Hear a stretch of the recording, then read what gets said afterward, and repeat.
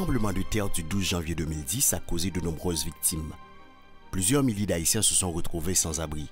Les principaux bâtiments publics du pays ont été détruits. Ainsi, le phénomène de camp a pris naissance. Il y a un de monde qui quitté Caillou, qui a regroupé dans un espace qui n'est pas préparé pour ça.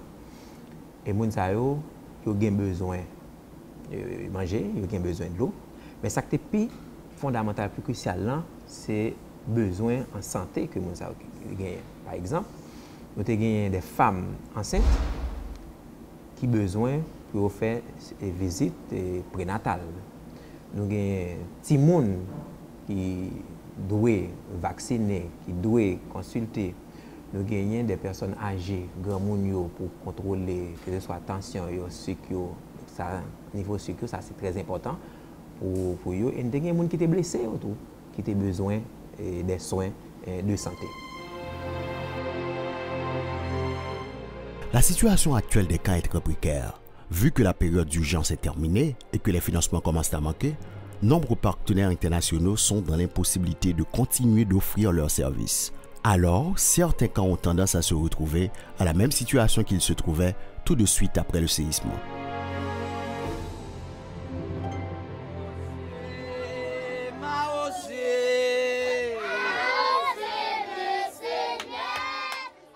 Nou pa gen lot eh, kote pou nou chete patra, nou pa gen poubel, nou pa gen jist, eh, nou kon brile ou pa, ou pa avan men, brile a ode a li pa bon, ni pou nou menm ki gen moun nan, ni pou ti moun yo, pou plis pou ti moun yo akotou. Sa koz nou oblije eh, lage patra ou nan touwa, men se pa paske se bon l bon pou nou. Les gens ont quitté leur maison par crainte ou parce que la structure était endommagée ou détruite. Les places publiques, les écoles, les propriétés privées ou tout autre espace vide se sont transformés rapidement en abri d'urgence. Même certains sites de captage d'eau de la DINEPA n'ont pas été épargnés. Lorsque ces personnes sont sur un ouvrage de potable d'assainissement, les gens ils ont un certain impact euh, sur l'espace, dans l'espace là où ils vivent. Ils, vont probablement dégrader les infrastructures qui, existent sur cet espace. Ça, c'est un. Et deux, lorsque vous avez des gens agglomérés dans un espace assez restreint, euh, ça empêche le contrôle qu'on devrait avoir euh, sur ce site. Il faut qu'il y ait de, la maintenance là-dedans. Mais avec des gens sur un site, on ne peut pas planifier des maintenances. S'il y a des réparations à faire, on ne peut pas faire. Si on veut planifier pour, pour avoir plus d'eau, on ne peut pas faire ça avec des gens habitants sur un site de captage. Il y a un risque de contamination de l'eau qui passe par ces ouvrages et qui vont vers les ménages dans les quartiers de la, région métropolitaine de, Port-au-Prince.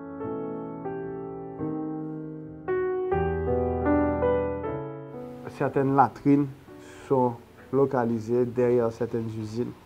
Alors il y a une certaine odeur et puis aussi le fatra que ces génèrent aussi commence à dégager des odeurs. Et puis les gens, les employés commencent à se plaindre et bon, on a travaillé en même temps avec certains groupes, certains membres, chefs de groupe dans le cas. Et on a eu des résultats. Bon. mais le meilleur résultat, c'est, pour moi, c'est que les gens commencent à se déplacer.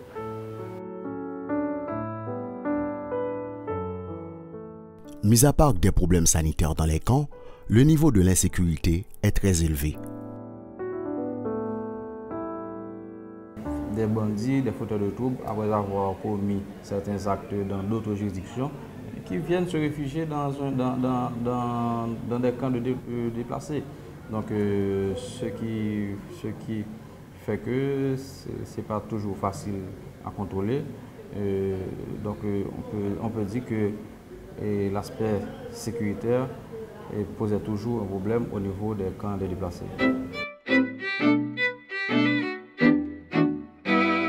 La proximité, vous avez plus de chances d'avoir de l'insécurité, des épidémies, et surtout peu de chance d'avoir une vie digne d'un emploi, une vie de famille, une vie de communauté.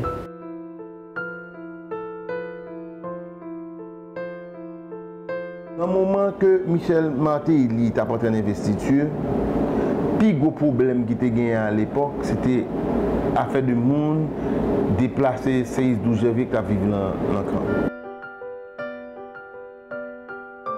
Fon devine avèk ou metode ki te respekte dignite moun yo e ki te valide e apouve par les entité de doa de l'homme e se kon sa. Nou jwa di 6 kan ki pa tro gwo, ki gen pil vizibilite, e le nan nan wejist yo, nou weke moun gilyan kan sa an 16 kati, se kon sa, pou jate koman se 6 kan 16 kati, pou nou de kapab evite ke moun le otan de yo pa vin manye kan sa, pou moun vin gonfle lan kan yo, nou mette faza sou kati yo, nou wile 16 kati, 6 kan dou l'abrivyasyon proje 16-6. Moun ki gen kay joun, nou repare kay joun yo, moun ki gen mezon rouj ki nan kan, nou rekonstruy mezon rouj yo, epi tout moun ki de sot an loye, nou, nou, nou bayon on subside pou peye 1 an loye. Sur le modèle du projet 16-6, plus de 52 926 personnes ont été déjà relocalisées. Dans le respect de la dignité humaine, le processus de retour de projet de subvention au loyer se subdivise en plusieurs étapes, soit l'enregistrement des déplacés pour avoir des informations nécessaires,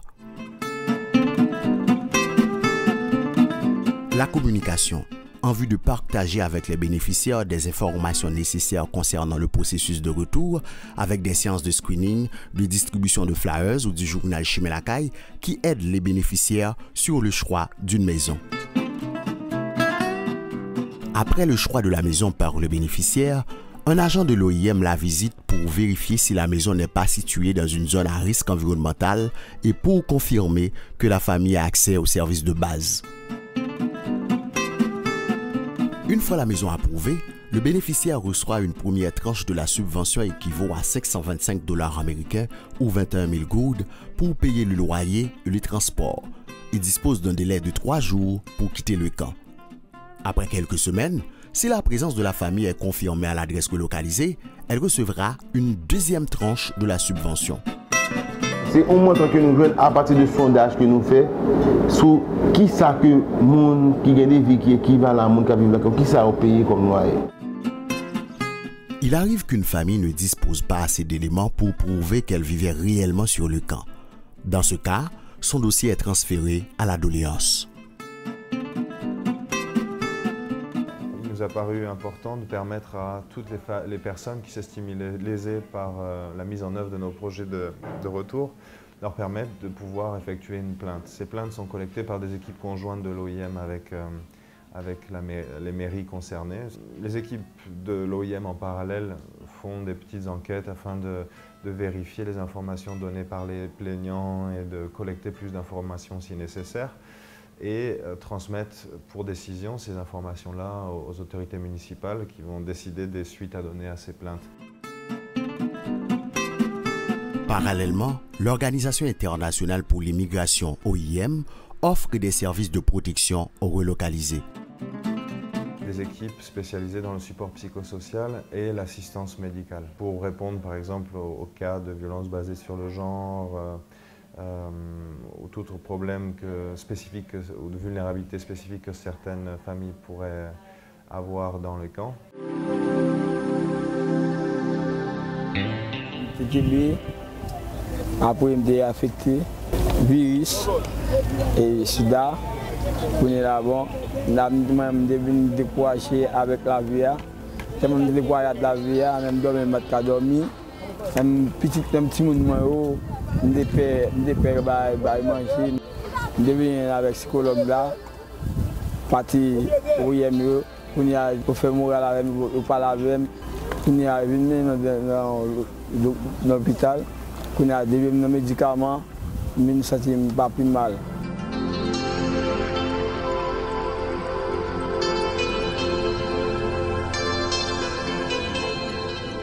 Grâce au programme de subvention au loyer, les gens ont non seulement retrouvé un toit, mais aussi leur dignité. Bon, puis à l'aise parce que quand il y a serré pas battre moi, soleil pas battre moi. epi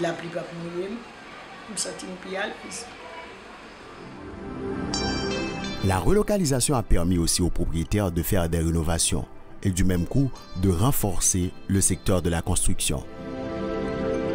Mbat gon gout, Avèk kaj sa m vin an fèmè yo ala, m vin jen yon ti salè, mèm nan fujidèm la ge kek bagay. M bral repare, m gen ti moun l'ekol tou, m gen tan pe yon kanè. Kaj la pat ko fini, kaj la bral fini. Kizin mwen pat ko fini, fit kizin mwen bral fini. M gen kek toalet an dan tout pat ko fini, m bral metne.